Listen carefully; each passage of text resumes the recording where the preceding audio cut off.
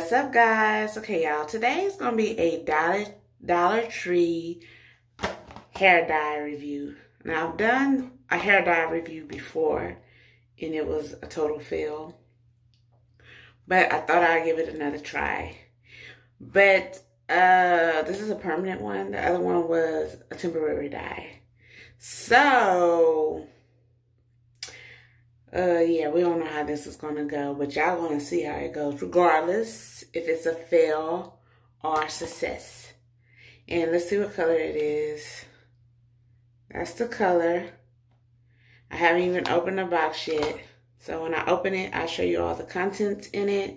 It's really not going to be no tutorial. It's more like what I think once I put this bad boy on. Uh, I am going to use aluminum foil. I've never done that before, guys. I'm trying to like be professional. I'm not professional, by the way.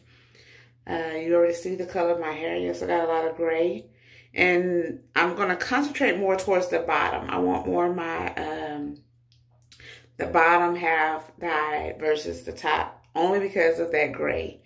Gray and dye, to me, is not a good combination.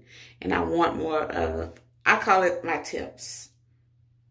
End of my hair tips. To be this color. So let's get started, guys. Okay, these are the contents of the box. So normal hair coloring contents if you're not familiar. A developer, the actual color itself, I do believe.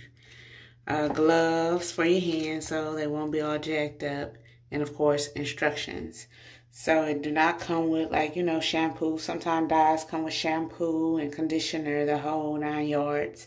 So you will have to provide your own shampoo and a conditioner. But everything else look like it's on the up and up, guys.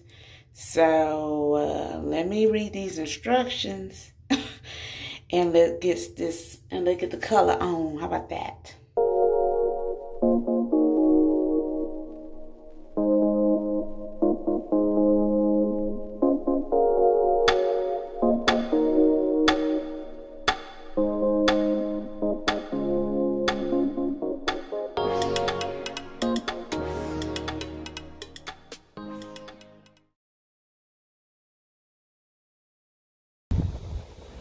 And here are the results, guys. I had to come outside so y'all can kind of see it a lot better. Still not that bold, but I feel that y'all can still see the color. And the sun about to try to kill your girl. So hopefully y'all can see it. And hey, for a dollar, it is what it is. And you already know my hair is dark. So I'll take it for now. So anyway, guys, thank you guys for watching this video. If you haven't already, please subscribe to my channel. If y'all like this video, go ahead and hook me up with a thumbs up. See you guys next video. Let's get a bit closer look.